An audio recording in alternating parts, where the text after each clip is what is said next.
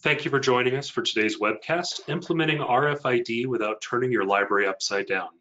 When your library implements an RFID system, the RFID tag is the least expensive piece of hardware, but with tens or hundreds of thousands of tags to be placed, tagging your collection is the stage of implementation that will take the most time and has the most potential to disrupt staff workflows and interfere with patron access to your collection. We're broadcasting today from Provo, Utah and Bethlehem, Pennsylvania. I'm Thomas Forsyth, sales representative for the Northeast at Backstage Library Works, and I'd like to introduce today's presenter. Jacob Bastian is Vice President of On-Site Services for Backstage Library Works, and in this role is responsible for the operations of our RFID tagging services. Jacob has experience in managing projects from small public libraries in California all the way to large academic libraries in Europe. We will be recording today's presentation, and that recording along with the slides will be available to you in a couple of weeks. We'll email you a link. On your screen, you can adjust the relative size of elements by clicking on the gray bar between the presentation slides and the camera feeds and dragging that separator up or down. Attendees' lines are muted, so please direct any questions or comments through the questions window. So without further ado, Jacob, tell us about RFID. All right, thanks, Thomas. So as Thomas just explained, today I'm going to be talking about uh, undertaking a project to tag an entire library collection with new RFID tags. Specifically, I'm going to be discussing disruptions libraries can expect to encounter when undertaking an RFID tagging project and how best to plan for them. So, as we all know, installing a new RFID system in your library is an exciting undertaking. It moves the library technologically forward, advances security, and increases circulation efficiency and patron privacy. However, out of all the elements of installing a new RFID system into a library, the project to tag your entire physical collection is the most time consuming. Therefore, it's vital to plan for when that time will be allocated to tagging and who will be assigned to it. Now, typically libraries have two options when it comes to deciding who will undertake the tagging project. The first option is to complete the project in-house utilizing the library's own staff time. And the second option is to outsource the work to an outside vendor to come on site and complete the work. However, either way, there will be some disruptions to the day-to-day work of your library while the project is underway. Now, before we get into the specifics of those disruptions, uh, I'd like to get an idea of where everyone is in their RFID plans. So there's going to be a poll coming up asking where are you in planning for or implementing RFID.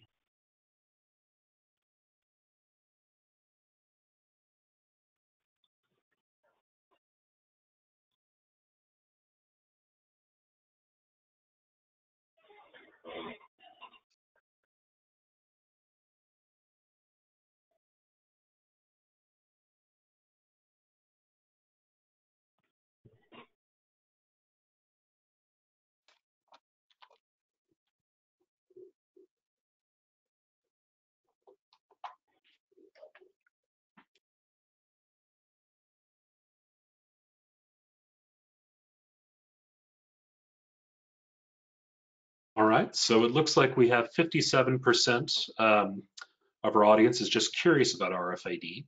22% are making plans, considering specs or creating RFPs. 10% are in the procurement process, evaluating vendors and systems. 10% are in process of implementation, and 1% are already in place. Thank you for taking the time to answer our poll. Thanks, everyone. Um, so it sounds like most of you are just sort of considering RFID.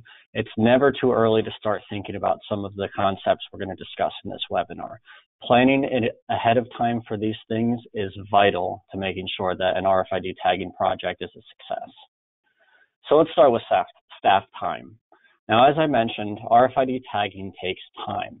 It's important to know just how long it's going to take because this helps to understand how much staff time will be needed and utilizing staff time disrupts their ability to perform their typical day-to-day tasks. Now, in planning for how long it's going to take, you need to consider a few points of information about your staff's capabilities and your library's needs as such as uh, number of branches that are going to be tagged, the number of items in each of those branches, the number of staff that are available to work on the tagging, and the amount of time they're uh, available throughout the day or can be made available, um, the number of RFID encoding stations you have for use during the project, and each tagger's uh, production speed capabilities. Now, in considering this last point, um, there's a quote from Martin Palmer's book, Making the Most of RFID in Libraries, where they indicate that one minute per item or 60 items per hour is a good starting point in considering how fast library staff can typically tag a collection. Now, I'd also like to note that when I mention staff, I don't exclusively mean library employees. Tagging can also be done utilizing volunteers and or even students if available. So once you have the points of information gathered, you can perform a simple calculation to figure out how long an RFID tagging project is going to take. Now let's say, for example, that a library with 40,000 items has two full-time staff, full-time being 40 hours a week, available to do the tagging work at the expected tagging rate of 60 items an hour. Calculating this information tells us that this library in its situation would take just a bit longer than eight weeks to completely tag the entire collection. Now keep in mind that you can tweak some of the variables such as staff available and hours spent tagging per staff member if you're able to in order to decrease the amount of time to complete the project. So let's go back to that example and change a couple things. Let's say that the library with 40,000 items could instead utilize six full-time staff members instead of just two. With the larger workforce, the project could be completed in under three weeks. Now, in addition to staff time being spent tagging, um, someone's going to have to take on the role of project manager. A project management is an important aspect of any RFID tagging project in order to properly see to the completion of the project. A project manager dedicated to organizing and overseeing a tag tagging project will need to spend time training and supervising all the staff doing the tagging, uh, tracking taggers' individual rates of production. So this is to make sure that tagging is being done and the project will be completed on schedule. Uh, performing regular quality checks on all tagging being done to make sure that tags are being smoothed out, placed in the proper position, encoded properly, and that all time all items are placed back neatly and in order. And finally, they spend a lot of time communicating with other library departments and staff to make sure tagging work doesn't disrupt other library services as much as is possible. Now, when selecting a project manager to carry out the RFID tagging project, uh, someone should be selected with strong communication, organizational, planning, interpersonal, and time management skills. So now that we've discussed staff, Another disruption to the library created from RFID tagging project is circulation and floating collections workflows.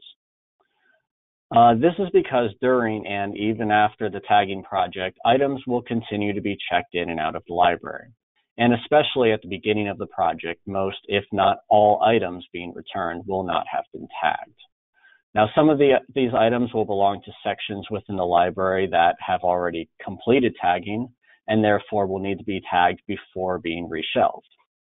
Now, there are typically two circulation workflows methods that can be implemented during a tagging project to resolve this issue with minimal disruption. So the first idea, uh, which I like to call the whiteboard method, involves the project manager setting up a whiteboard or chalkboard or large paper pad or even a Google Doc online, um, something convenient, something near, in, or behind the circulation desk.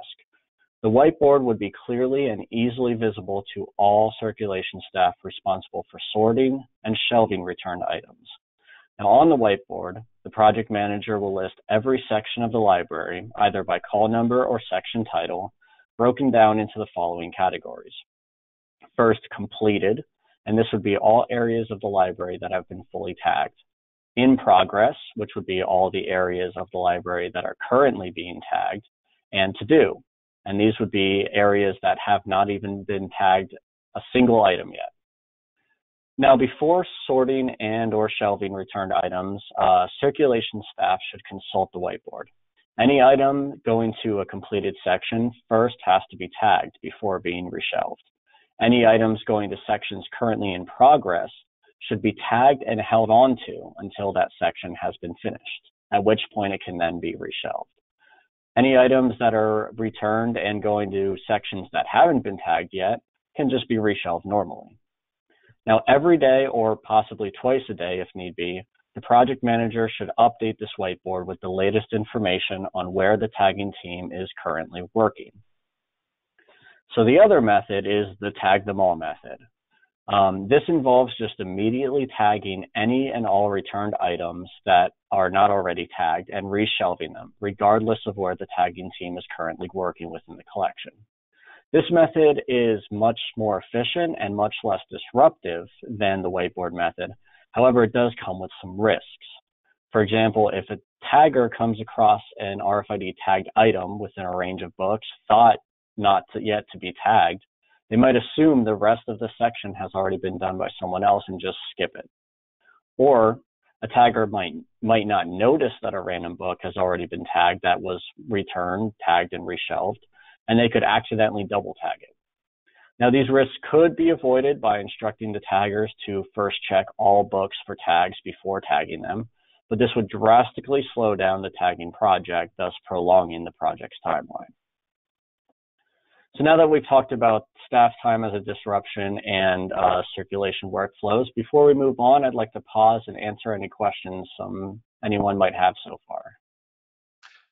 Jacob, while we're waiting on people to type any questions they may have, I'd like to start off with um, asking you if there's any methods you recommend for marking a book on the outside if the library is willing to do so.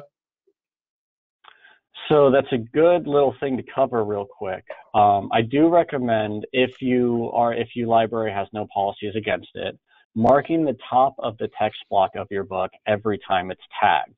That way it's very easy to quickly see which books have been tagged and which books have not. You can use a black Sharpie or I've even seen some libraries use a little rubber stamp check mark to mark the top of the text block it really helps circulation staff in quickly identifying what has and has not been tagged yet during a project. Alessandra Hull is wondering if you could quickly re-explain the tag them all method.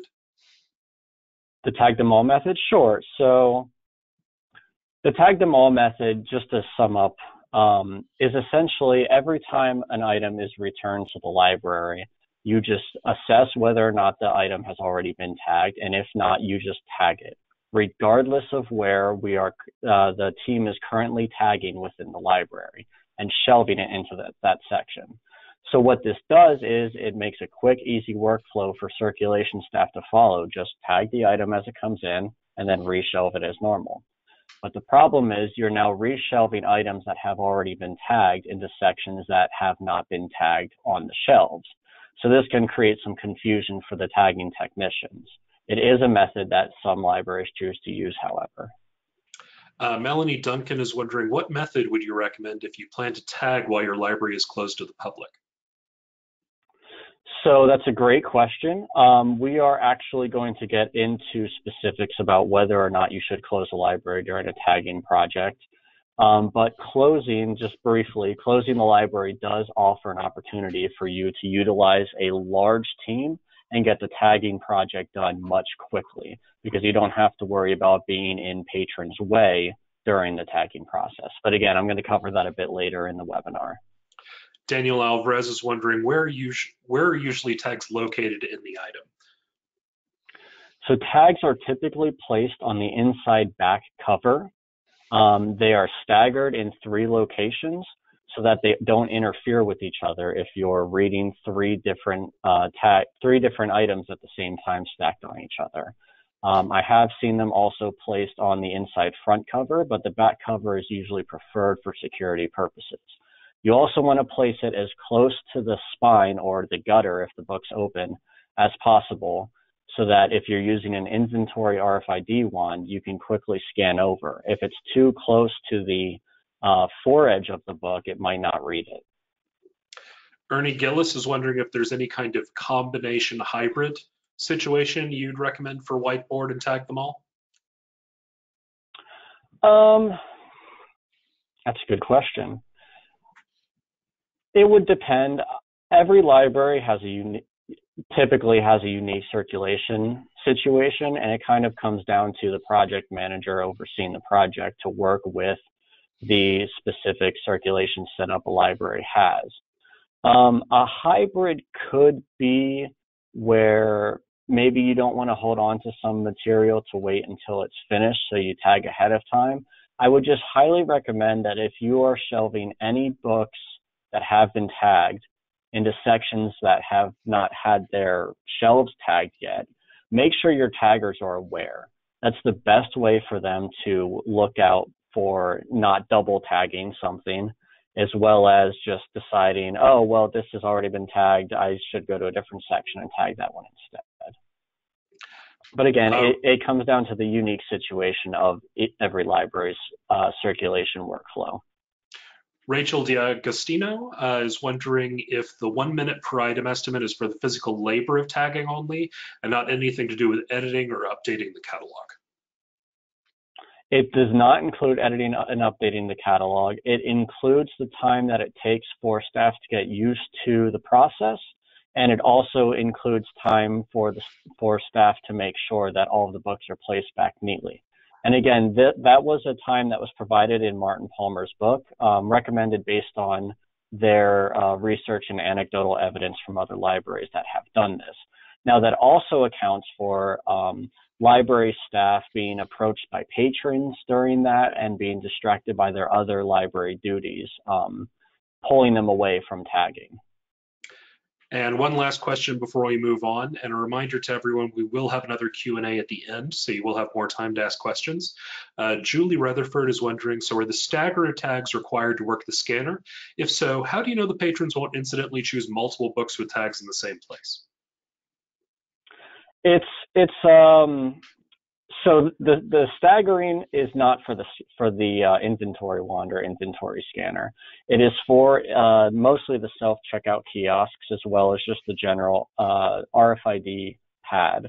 Um, it's when you place a stack of books, you know, four or five high on top of it. If all of the RFID tags are on top of each other, one or two could block the very top ones. Now, you may it may become unlucky that a that a library patron grabs four or five books that just happen to have tags in the same spot. But you lower the chances of that happening if you stagger them um, throughout the project of tagging. All right. Thank you jacob. We'll be moving on. All right. Thanks thomas all right, so now uh, we're going to talk about some potential delays. Now, like all projects, an RFID tagging project is a temporary undertaking. As such, the disruptions to daily library workflows and services is also temporary. However, any delays in the project work will unfortunately extend how long these disruptions will be in place. It's important to be aware of some unique characteristics libraries may contain that could potentially cause delays in the tagging project. As examples, I will review three most common things that cause slowdowns in tagging, such as legacy tags, locked AV cases, and unusual or atypical library items. so legacy tags are RFID tags that are already attached to items from previous RFID systems. Now, these tags have to be removed or disabled in some way as not to interfere with the new RFID tags.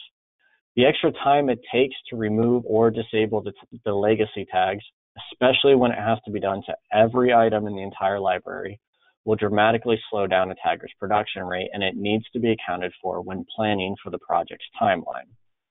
I would like to note that when I talk about legacy tags, this does not include security strips or tattle tape as they're commonly known, we have found that those do not interfere with RFID tags, but we're mostly talking about checkpoint tags like you see in the picture on the slide. Now, locking cases for audiovisual items such as DVDs and Blu-ray significantly slow down tagging work, especially if a tagger has to unlock and relock each case every time they tag an AV item.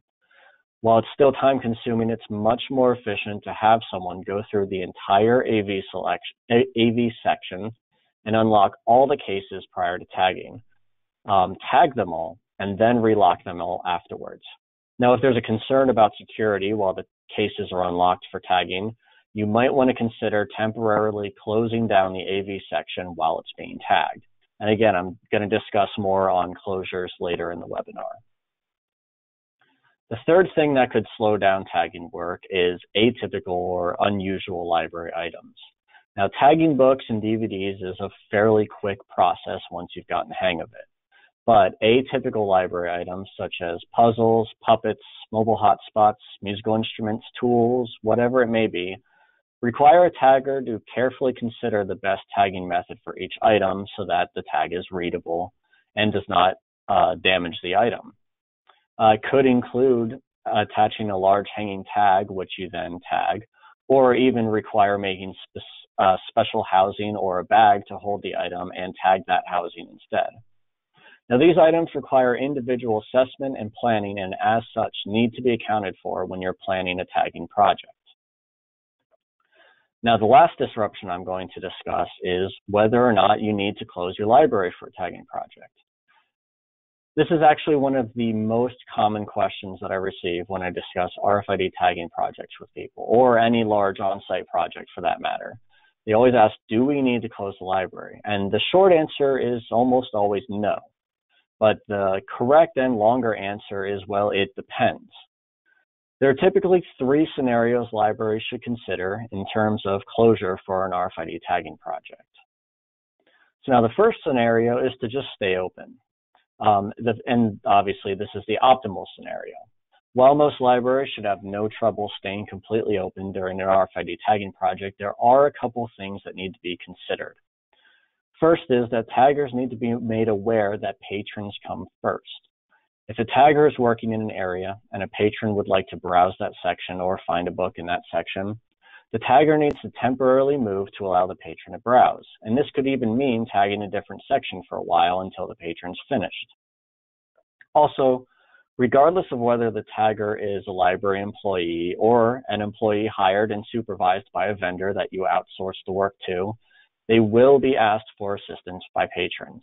Patrons see someone tagging a book, so they assume they work for the library. Taggers should be trained on how best to handle patron assistance requests in a way that is both helpful and not excessively distracting to the point of affecting a tagger's ability to do their work. For example, taggers could be instructed to assist patrons with quick, easy questions such as where are the 400s or where are the bathrooms, but refer patrons to a help desk or a reference desk for more complicated inquiries. Now, the second option is to temporarily close sections within the library as they're being tagged. Now, this scenario mitigates the issues of patrons slowing down tagging production, as I discussed previously, allowing taggers to proceed with their work uninterrupted while not forcing the library to close completely. One major aspect of this scenario that needs to be considered is that library staff would be expected to go into closed sections on behalf of patrons in order to retrieve materials when requested. Now, it's vitally important that when planning section closures, a communications plan should be detailed enough to include how the temporary section closures will be announced to patrons and how signage will look for patrons as they enter the library building and around the closed section. Now, the final scenario is to close the stacks or library completely for the duration of the tagging project. Now, this is the most extreme scenario, but in some cases might be necessary. For example, as I mentioned earlier, if you're seeking to complete the tagging project in a short amount of time with a large workforce, it might be necessary to close it completely. Um, because a large team of taggers, especially in a small library with tight aisles, would overwhelm the stacks and users trying to navigate the stacks would both be in the way and frustrated with the disruption. Now, for scheduling the closure, consideration needs to be made as to when the library is patronized least. You should especially avoid peak use times, such as in the summer for public libraries and any time during the fall or spring semesters for academic or school libraries. Now, one last point on this scenario is that you should try to keep as many library services open as possible, such as interlibrary loan and reference. Staff should be able to pull material requested for pickup during this closure. Now, a great, a great way to mitigate many of the disruptions that I've discussed is to hire a vendor to complete the RFID tagging project for you. Typically, a vendor will send a highly experienced and trained project manager to your library to work with you and handle all aspects of the RFID tagging project. They'll either hire a team and hire and train a team locally to carry out the work, or they'll bring experienced staff with them to complete the project. Now, this option is costly, but some some vendors have flexible pricing options in which a project manager will work with your own staff in order to complete the project. This cheaper option frees your managerial staff member that would have otherwise handled the day-to-day management of the RFID tagging project. However, it still uses your own staff, volunteers, or students. Now, one of the greatest benefits of hiring a vendor is that because of their previous experience in performing RFID tagging projects, vendors have unique processes that have been honed over time to complete RFID tagging at higher rates, sometimes as high as 160 items per hour, which is more than two and a half times faster than Martin Palmer uh, anecdotally mentioned that libraries can complete on themselves. Now, I'd like to wrap everything up with uh, another quote from Martin Palmer's book, which is the main advantage of using an external agency is usually see, seen as being the ability to specify a fixed completion date avoiding all the concerns of managing what is essentially a very mechanical process, and so being able to concentrate on more demanding elements of the project. So I want to thank you all for um, being a great audience and patiently listening to me talk about this. Are there any other questions that anyone has at this point? Hi, Jacob. Uh, Julie Rutherford was saying, will you be discussing floating collections? There was a prior slide, but we didn't go into much detail on it. Uh, libraries and their consortium have a floating large print collection, and if it's returned to us, we keep it until it goes out again. Any suggestions for how to deal with that? Are the only options to stop floating or not use RFID on that collection? So as I mentioned earlier with circulations, a lot of libraries have unique um, workflows, and this includes floating collections. So it is sort of on a base case by case situation. It also depends on whether your library is uniquely tagging your collection only, or if all of the, the branches or locations that are involved in that uh, consortium with the floating collection are also tagging. If it's the case where they're all tagging, we would usually have a tagger set up at if there's a main branch that things go through, to tag things as they go through to the various libraries. Um, I would, however, rec- highly recommend when it comes to working with floating collections to mark your books, as I mentioned during the first uh, question. It's a great way to track what items have been tagged and what, what items have not been tagged. But again, this is one of those little unique things that need to be handled on a case by case and would be worked out in the project plan. Thank you, Jacob. Uh, Charlotte is wondering how large are the tags? So it depends. Um, different RFID vendors that make the RFID tags offer different sizes, but typically there are the two uh, two inch by two inch square tags, and there's the two inch by three inch rectangular tags. Now the rectangular tags are the most popular, um, because they're a bit bigger, they have a larger uh, antenna, so they have more reliable readability. Now, there are also um, what's called hub tags, which are a little circle that go around the whole of a CD. And there's also entire CD size tags that cover the entire cover art of the CD. And those are for audiovisual items. There are other unique tags at different RFID vendors, but those are the major ones that um, libraries use. Nicole is wondering, do you have any information of which tags are the best to use and or cost of the tags? Um, cost of the tags, again, will depend on the RFID vendor you go to. Um, typically, as I mentioned in the previous question, libraries use that two by three rectangular tag. As I understand it, the rectangular ones are slightly more expensive, but not very much, but they do have the advantage of the readability. And I also did think um, I would like to mention that some RFID vendors do have temporary tags, which are great for materials such as uh, magazines or newspapers that you sort of take in and and uh, deaccession at the end of the month when you get the new one, or maybe after three months. Um, the removable tags that you can just take on and put onto the next item so that they can be circulated without wasting uh, a permanent tag. Uh, Renee, I can confirm that we will be sending out the recording to everyone. Um, anyone that registered for this webinar will be receiving a link in just a couple of weeks. Uh, Alice Haynes is wondering, how do you recommend tagging a carton of manuscript records? So I would always recommend tagging the box that the manuscript records are in. Obviously, you probably don't want to tag the material itself. It also depends on how accessible the material is. For example, um, are you handing out individual folders of items within within the uh, the carton, or are they even in folders? It depends on the unique situation, and that's one of those things that has to be um, planned for ahead of time. And different RFID vendors do have recommendations on how best to handle uh, those unique situations with their specific RFID technologies. Connie King is wondering, do you recommend RFID over barcoding? If so, why? Especially for non-circulating libraries. So for non-circulating libraries, the two biggest advantages for RFID tagging is security and um, inventory. So security is sort of um, obvious. You put the tag in there, and if someone tries to walk away with the item, it makes the alarm go off.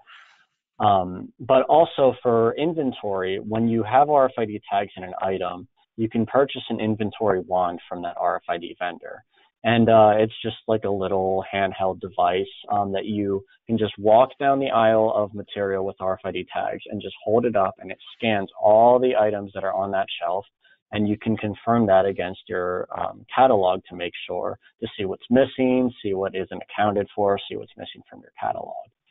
Now, I don't necessarily recommend having RFID instead of barcodes because barcodes still have that nice physical uh, validation that you can see on the item and scan. Also, when it comes to RFID tagging a collection, having barcodes on the item is what makes you be able to do that um, 60 item per hour for the library themselves, or sometimes vendors being able to do 160 an hour. If you don't have a barcode on the items already, RFID tagging is dramatically going to be slower because you have to look up each individual item in the record to connect it to. Having the barcode already has that connection. So you're essentially connecting that barcode item ID to the RFID tag. Uh, one other comment on that, when you're using the wands, you can also use it to locate missing items. So if you are trying to pull a book for a patron and it's not where it's supposed to be, um, you can use a wand to, uh, to locate specific items uh, by just wanding over uh, different shelves until you locate it. Uh, Nicole is wondering, any information on best equipment such as RFID printers? Um, so I'm not sure what specifically you're looking for in equipment. Um, different RFID vendors have all different sort of cool things, and they're still continuing to come out with some really cool things. Um, the standard equipment includes RFID gates um, for security purposes, RFID pads um, so that your employees can read the material. There's also self check-in and check-out um, stands so that patrons can walk up to the self-checkout stand, put their books onto it, scan their library card, and it checks out all the books and they can be on their way. There's also check-in chutes so that when patrons return materials, it passes over an RFID scanner and automatically checks in the item that it's back into the library. There's some RFID vendors that have book vending machines where you can actually have a book dropped right to you and it's checked out and you can put it right back into the machine. Um, now, RFID printers are um, really useful if you're thinking about putting your um, library's logo on your RFID tag to identify it if it ends up in the wrong library, for example. Um, these are all just things to consider and talk to your RFID vendor um, representative to see what might work best for your library's specific needs. Uh, one last piece of equipment I did want to mention is um, I mentioned AV locking cases earlier. Some vendors do have a, a, piece of equipment that will both simultaneously unlock a AV locked case as well as check out the item so you can hand it right to the patron and they're good to go. Lynn is wondering, what if all your library system collections float? We have a 23 library system and approximately 99% of our items float. Um, again, it sort of depends on whether or not you're going to be tagging all of the libraries or just your individual library. If you're tagging all of the libraries, it is essential that you mark the, the books in some way to keep track of where the RFID, which, which items are RFID tagged and which are not. You're essentially taking the method, the circulation methods that I mentioned earlier, and just amping them up between multiple libraries. We've even had some situations in the past where we have moved beyond one of the branches and send one of our taggers back to a branch we finished because all of a sudden they're receiving material through floating collections that is not tagged and they can't keep up with it. So having um, a vendor with a project manager who is aware of all the moving pieces of this is essential to making sure that libraries, after being tagged, aren't inundated with floating collections that have not yet been tagged. Um, it is important to be aware that your uh, library staff in circulation is looking out for that those um, materials so that things don't get reshelved that haven't been tagged yet. Melanie is wondering, do you recommend heavily weeding a collection before starting an RFID conversion project? This is a great question, and I definitely recommend weeding. Um, it is very common, actually, that a library will weed a collection before beginning an RFID tagging project. Um, the biggest argument for this is if you plan on weeding a collection eventually, don't tag it first and end up wasting those tags, especially the permanent tags, by just getting rid of the material. Um, you can even do this simultaneously. You could do a weeding project hand in hand with an RFID tagging project. Um, but a lot more planning would go into that. However, it would be a bit more efficient. It just depends on your individual situation. Rick is wondering if the library builds their own tagging setup slash cart, what should it include? So an RFID encoding cart includes um, typically a mobile AV cart that you could put a, um, you have a laptop on it, a barcode scanner if your collection already has barcodes, um, and it would also, it would have a battery to power the whole thing, or if necessary, a plug, a long extension cord to keep everything plugged in. And then it would have the um, specific encoding software on the laptop uh, provided by your RFID vendor. Um, you would also need the RFID encoding pad and the, um, I can't think of it now, the transceiver? The yeah, sorry. Thank you, Thomas. The receiver that actually in, interprets and um, encodes the RFID tag itself. Now that communicates with the laptop, and it's you need to make sure that you get the specific RFID pad that works with the tags you get from your vendor, because different RFID vendors have different encryption styles. And I should mention that uh, when we do these sorts of projects, we do offer um, an option for building those carts for you if you don't want to handle it on your own.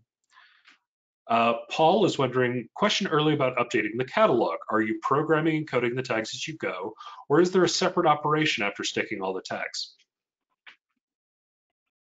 I'm um, sorry, could you repeat the question? I didn't quite get that. Um, essentially, he's wondering if you would tag the items first and then encode them later, or if you would be encoding the tags as you go as they're placed into the items. So there are actually two methods for this. Um, the first method is to have one person on an encoding station and tag the book, tag the book, and um, encode it at the same time.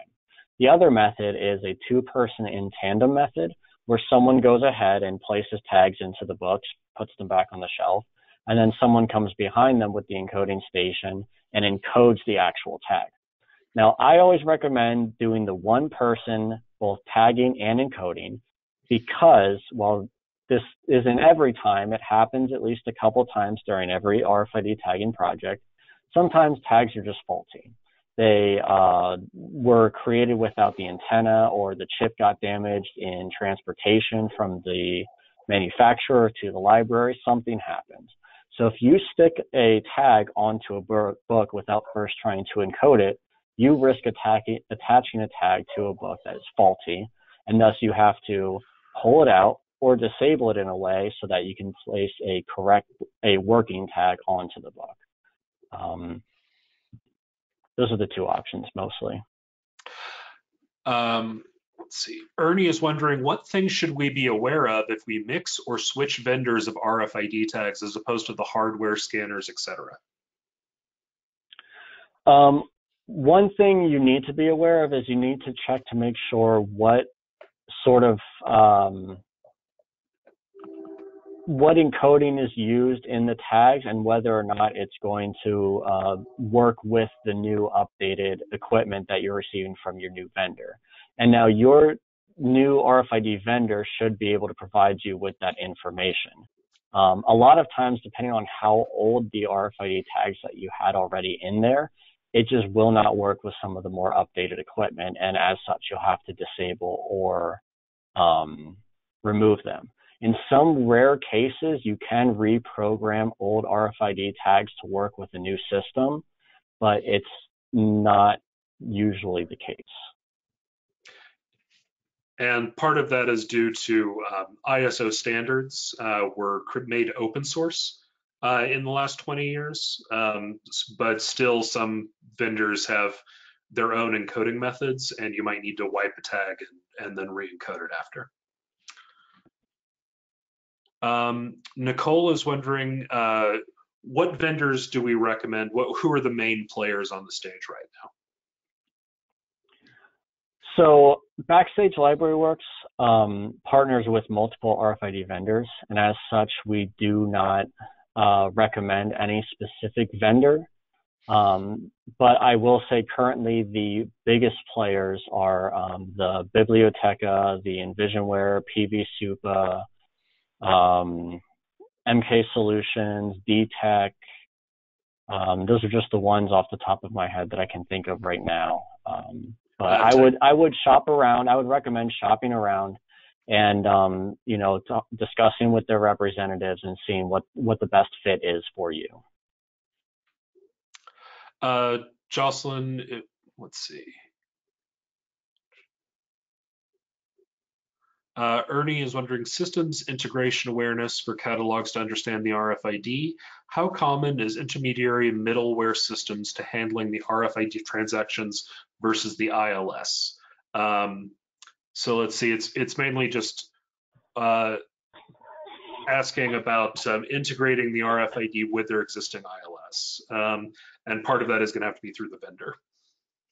Yeah, I was going to say it, it, that's going to that's going to be um, something that's going to have to be worked out through the RFID vendor um, and how it interacts with your specific ILS.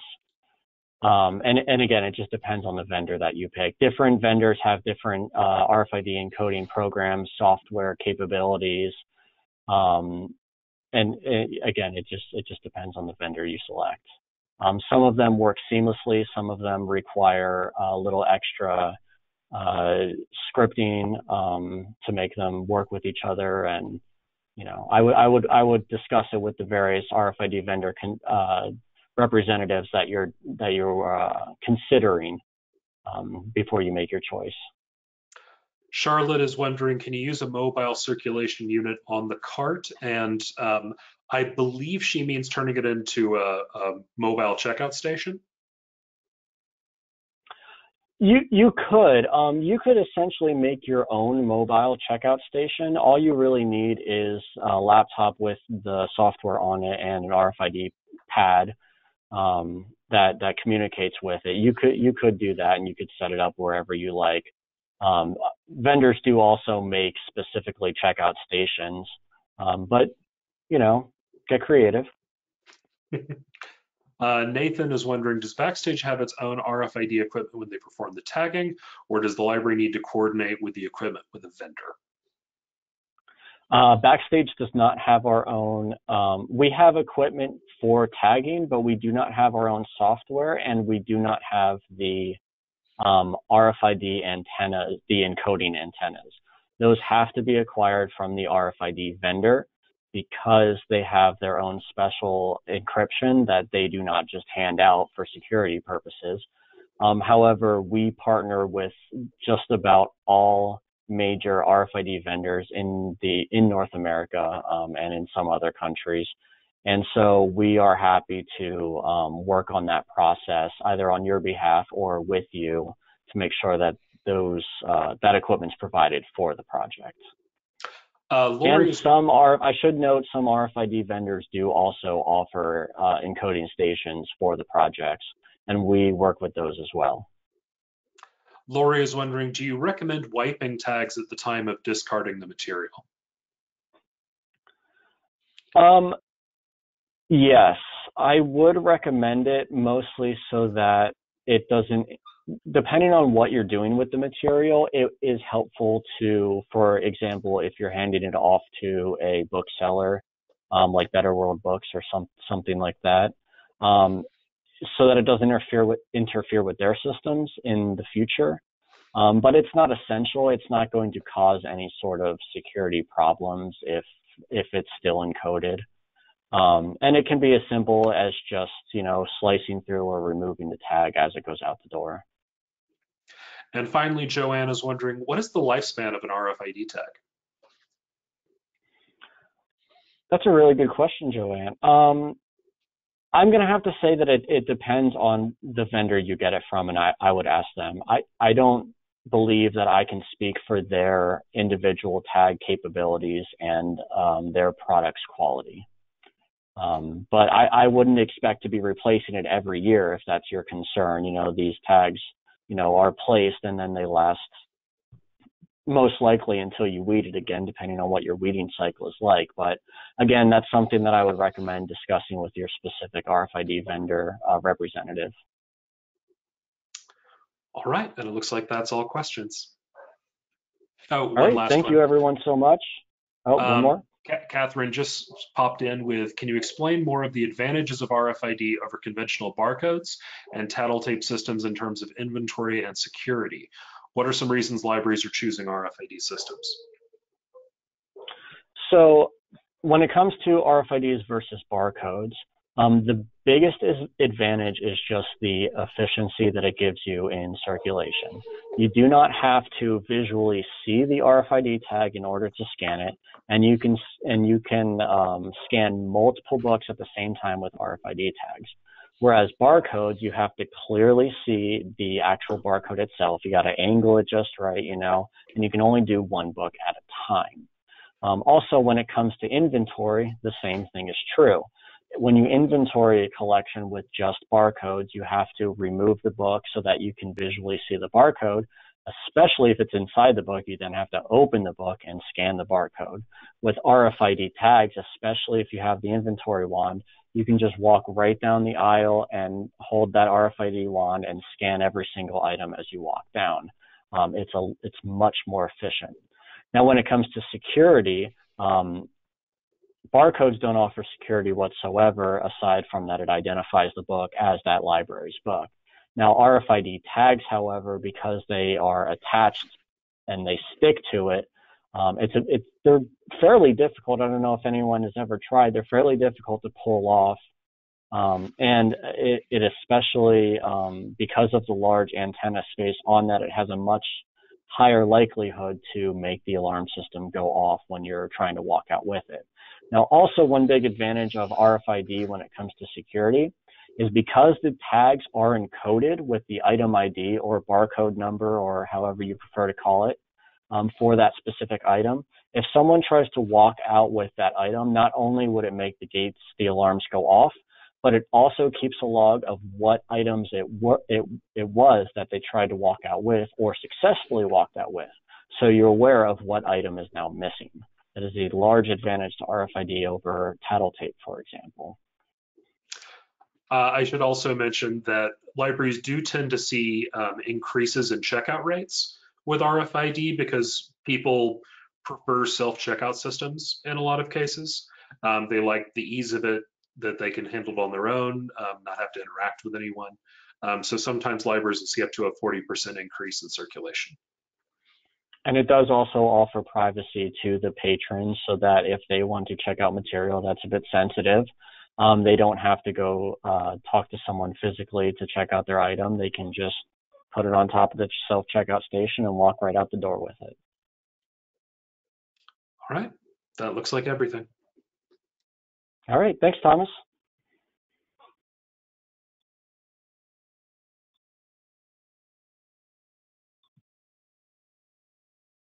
Thank you everyone for joining us. Um, again, we'll be sending you a recording in the next few weeks.